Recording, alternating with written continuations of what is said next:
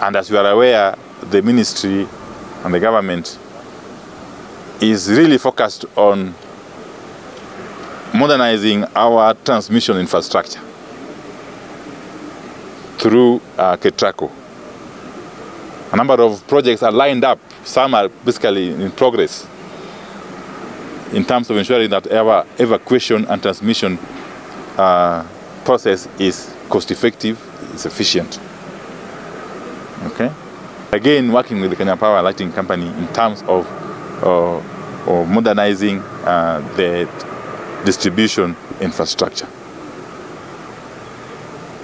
We are clear in our minds that uh, once we do all of this, okay, we shall be in a position to deliver power to Kenyans at affordable rates.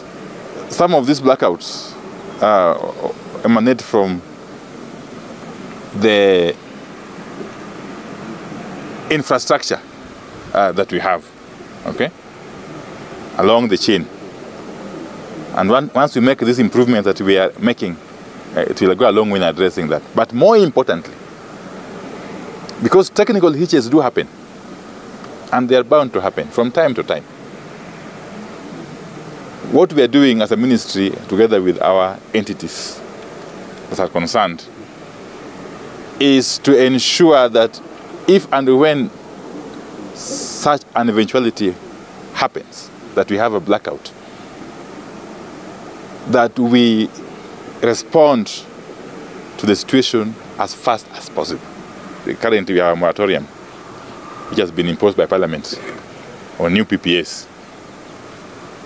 We are working closely with Parliament to have it lifted for good reasons that we need uh, more power to be generated to spur our economic development. I must also appreciate that in terms of the tariff, KenGen continues to deliver the, the, the, the least expensive power to the national grid. Okay? And that basically therefore means that going forward, even as we encourage other players in, in the generation sector, as a government, it is incumbent upon us that we continue to support KenGen for